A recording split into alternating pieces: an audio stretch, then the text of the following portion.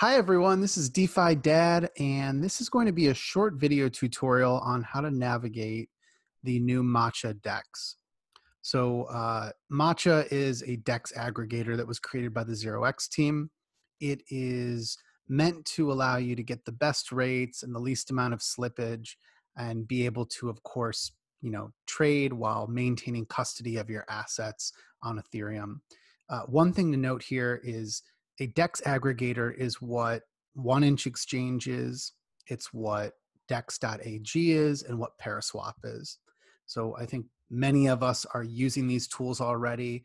And uh, probably what's most unique about Matcha is just the fact that it has a very pretty user interface. And we'll kind of like walk through some of it here and, and give you a sense of uh, what's different. So first thing is I go to matcha.xyz and uh, when you get to the page, just the usual thing, you're going to connect your wallet. So I'll connect MetaMask. If you use any sort of WalletConnect wallet, Coinbase wallet, or Bitski, you can connect it there. And then uh, next up, uh, I'll just search a pair here. If you search any asset, it'll give you some common pairings. Uh, but again, this is a swap, just like Uniswap or what you see on like 1inch dot exchange. You can trade between any asset as long as it's uh, a digital asset on Ethereum. So I'll choose this. Uh, first thing I noticed is it it really does look a lot like Robinhood. Uh, I believe that someone on the team was quoted saying to the block that they are trying to be like the Robinhood of crypto, and uh, no, no doubt about it, they're trying to create a really pretty uh, experience for trading. Uh, you'll notice here on the right hand side, this is really all that matters to me. I have a market order, so I'm going to pay whatever the market price is. And in this case, let's pretend that I start with DAI and that I'm going to buy ETH. And so if I put in that I'm going to buy uh, 10 DAI worth of ETH, here's how much I'm going to get. Uh, different than that, though, I could put in a limit order. So one thing you'll notice here is I'm currently trading between DAI and ETH, but what really happens on Matcha is you are trading with uh, wrapped Ether or WETH, which is an ERC20 token. So long story short, if you were to come into this and try to place this order, it just lets you know that BT dubs, you're going to receive WETH instead of ETH, which isn't a problem because you can actually convert at any point between WETH and ETH on this, you know, on this DEX, and it's one to one, and so it's it's you know it's a easy way to uh, you know switch back and forth. The reason that wrapped ether or WETH exists is that you can't do quite a bit with Ether, the native token, versus WETH, which is an ERC20 token. And so this is something that often happens in the background of lots of different DeFi apps that folks use. You just don't realize it. Uh, so, anyways, they're just really uh, transparent about the fact that you are in fact receiving WETH. And if you were to exit, you know, from Matcha or just walk away with your wallet per usual, if you need ETH back instead of WETH, uh, you can go back and forth here between the two. Okay, the other thing is actually, let's go back and make that WETH again. Uh, as long as I am trading with WETH and not ETH, I am able to place a limit order.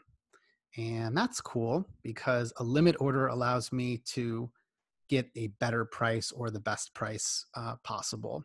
And so instead of me just buying 10 DAI worth of ether and paying however much that is, I could say that I'd like to buy at 200 DAI or lower or better.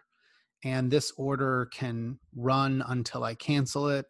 Uh, or, you know, you can, you've got other choices here. You can let it run for a day, three days, or seven days.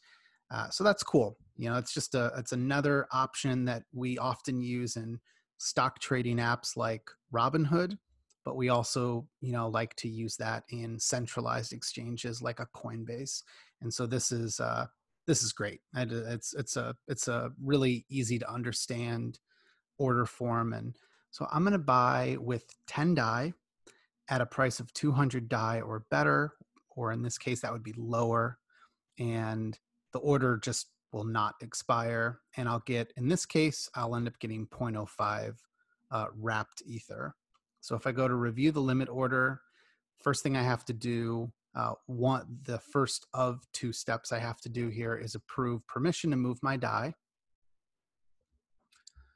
And so this is a really common step in all DeFi applications or all Ethereum applications. So let's go here and check what the gas price is. And I'm checking ETH gas station.info on my phone and it looks like it'll go through if it's as low as uh, 24.2 so i'll put in how about 28 gwei? Cool. So i'm going to save a little bit of money um, as opposed to what i was going to pay originally just i think like 20 cents there. The other thing is i'm going to change the permission uh, i like to set custom spend limits Sometimes this creates issues for me if I set the limit too low, but I think it's good. Uh, it's a good practice to not give unlimited approval. All right, so let's make it, in this case, 10 Dai. All right, that's it. So we've got the lowest amount of, uh, the lowest gas price set, and then I've also got permission to move 10 Dai.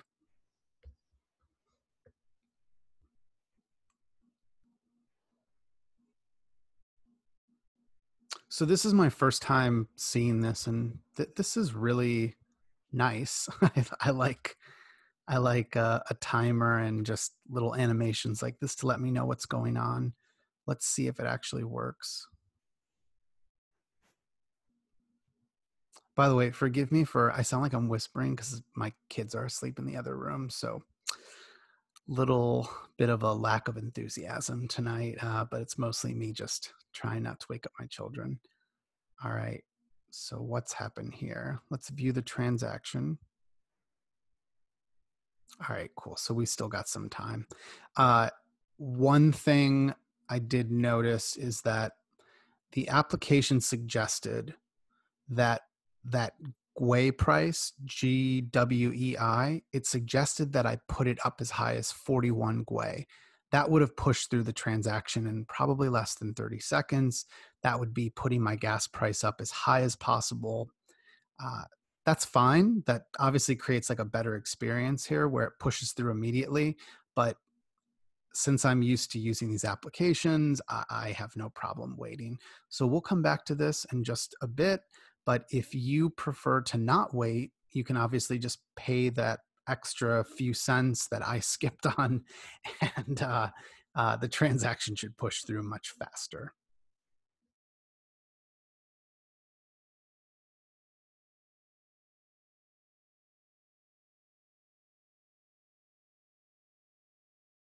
So my approval transaction for moving my Dai in my wallet has gone through. And now I can place the limit order. So we're going to uh, pay 10 DAI for 0.05 WETH. That would be if the price is at 200 DAI or better. And then I, I think one of the you know awesome things right now about matcha is that there is no fee. So they've you know said that for now there are no trading fees. My expectation is that there will be a fee in the future uh, this tends to be something that uh, you know DeFi teams or just crypto exchanges in general do this to get folks to start using the platform and you know get get accustomed to it and you know um, build brand loyalty. So that may come back to us in the future with a fee. All right, so I'm placing my limit order, and this is the last transaction where I should have to pay. Oh, and that's good. Actually, I don't have to pay anything right now. So cool. Good to know. So I'm just signing the transaction. And then it looks like we have prepared the trade. Limit order's been placed. That's it. All right. And then if I click that new trade button, obviously I could continue to place more of these limit orders.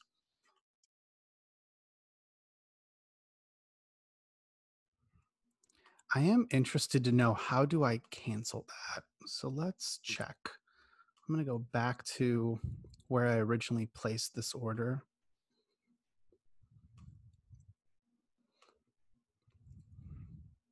Ah, there we go. Cool. Sorry, I just had to scroll down a bit. Uh, there it is, open orders. Let's check something else here. If we were, if we were looking at buying, uh, let's pretend that we are looking at a like a, a different swap here. So now I would be paying in DAI and I would be getting SNX. All right, and there is no there's no order showing here. So what I have to do is I have to know that I have placed an order using DAI in WETH. Otherwise, I could lose track of it. Right now, I don't see another place where I can see all of my open orders. Let's go back to the home page. Don't see anything here. Uh, let's see. Go to account page again. Yeah, I don't I don't see anywhere else that would show me any of my open uh, orders, orders that haven't been filled, but they are limit orders that would fill.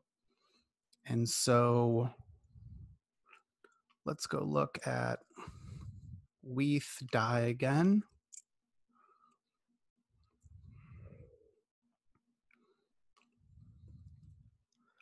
Okay. So I should see my order show up here below. There we go. So there's my open orders that have not been filled. And I'm going to go ahead and cancel this just because I want to see what that looks like.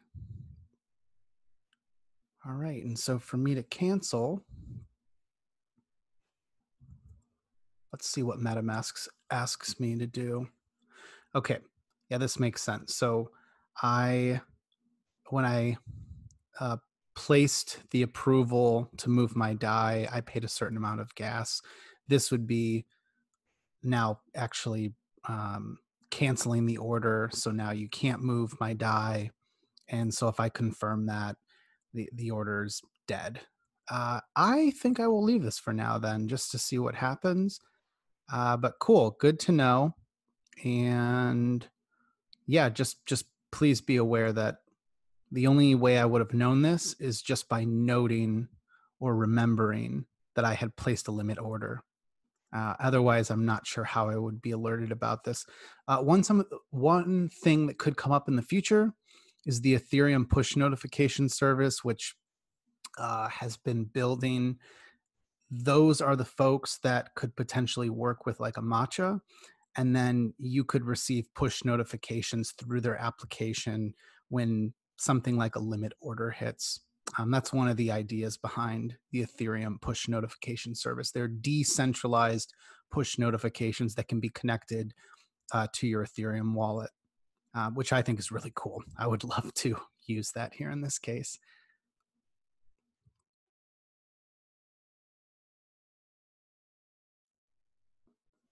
So when I'm using this and I think about the risks involved, there's a few. Uh, first off, there's always a smart contract bug risk. It can be mitigated with audits. You'll notice that on uh, Matcha's FAQ site, uh, they have Trail of Bits and ConsenSys Diligence having audited it. You can check out the results there. I'm not a smart contract auditor, so I'm not going to read this and pretend that I feel any safer using the application.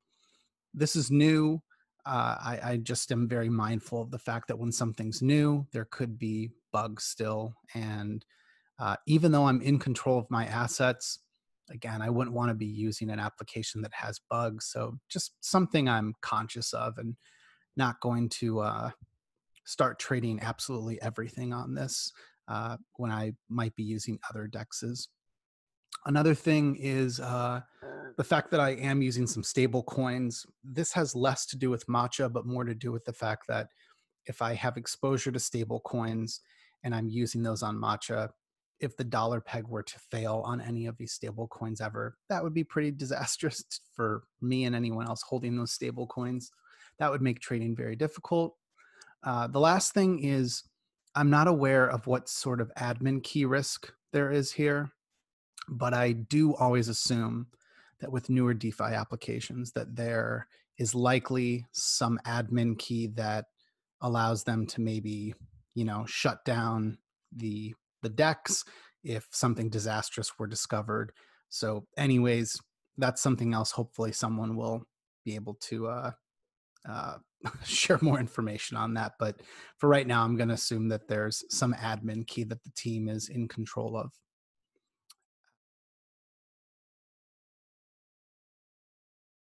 The last thing I want to cover before I go is whether or not I'm getting the best rate on matcha. Uh, I'm not suggesting that I must get the best rate in order to use matcha. Obviously, it's a really pretty interface to use, and there's no doubt that some folks will uh, use it just because of that. However, for me, I I want to get the best rates and the least slippage possible, and I don't have a way here to look at order book depth, but I could compare quotes for, you know, like let's pretend that I'm willing to pay 10,000 DAI to buy as much WETH as possible. And so I would get 44.92 uh, WETH or ETH in this case. If we go to uh, 1inch,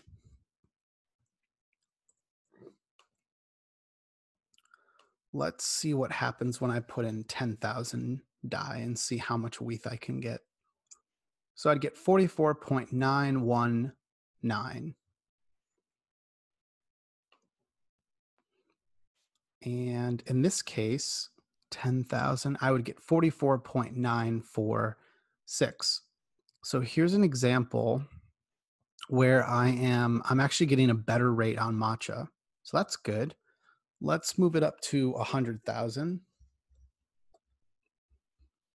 So now I'm getting 447.7189. And, and by the way, these quotes are going to change constantly. It's like just, you know, depending on all the trades going on, the liquidity uh, across all the different pools that 1inch and matcha source from. Okay, so in this case, I'm getting 447.8849 so I am getting I am getting more for my money in this example. Um, I don't have a hundred thousand DAI, and I have 582 DAI in this wallet.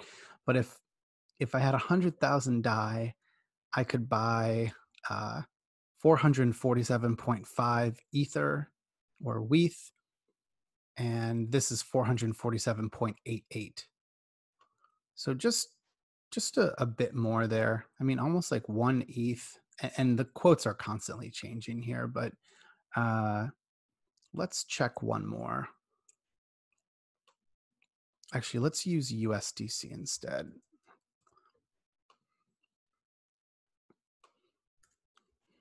So if I were to buy with 10,000 USDC, I could get 44.25 WETH on 1inch. And here, Let's do USDC. So I would get 44.31 WETH.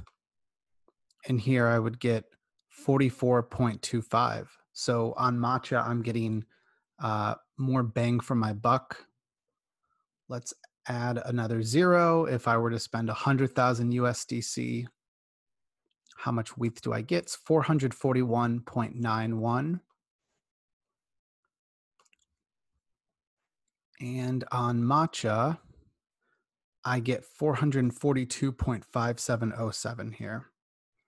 So let's see, 442.5707, what versus 441.91. So yeah, just a little bit more bang for my buck there on a matcha. So, uh, you know, uh, th- this isn't the most scientific way to go about, you know, testing where I'm going to get the best rate, but uh, it's cool. You know, it's so far it's split pretty evenly there. Um, earlier, I was playing around with this, and I was actually finding that 1inch had uh, better rates almost like nine out of 10 times. But that was a few hours ago when I was playing with it. And now I'm seeing it more evenly split. So, you know, uh, who knows? All right. So that's all I've got for you today. I hope this is helpful. Uh, I- I'm excited that there's now another Dex aggregator available and that it's got such like a pretty, you know, interface to use. Uh, it definitely reminds me a lot of Robinhood. I've used Robinhood before for trading stocks, and uh, this this definitely should resonate with someone who's less of a crypto native. And yeah, uh, anytime you can make you can make for uh, a prettier tool, I think that's good. You know, just because it, it might attract more new folks to try trading on dexes versus using centralized exchanges. And I, I think the thing I like the most here is I, I think the limit order works really well. You know, it's it's it clearly reminds me here of Robinhood. They they state here's what you're paying, here's the price. So in this case, I'd be paying uh, a dollar ninety eight or one point nine eight USDC per SNX, and then when does it expire? And you can place limit orders to basically never expire in this case. So that's cool. Uh, the one downfall of this is I'd love to see all of my open, unfulfilled limit orders in one place because right now I have to keep track of any limit orders I, I've placed on this platform. Otherwise, I won't I won't know um, when they've executed or if they're still open. Uh, so, anyways, I hope this is helpful, and let me know if you have any questions or comments in the YouTube video, or also uh, you can reach me through Twitter on any of the posts. Just comment with questions, and I'd love to help.